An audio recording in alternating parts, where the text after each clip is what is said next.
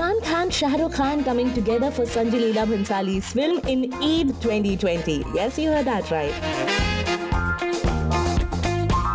The Eid of 2020 might just get bigger for the fans. Well, according to reports, Salman Khan and Sanjay Leela Bhansali are going to collaborate for their upcoming project. But according to the latest development on the same, it is likely to get bigger with the presence of another superstar, which is believed to be no one else but Shah Rukh Khan.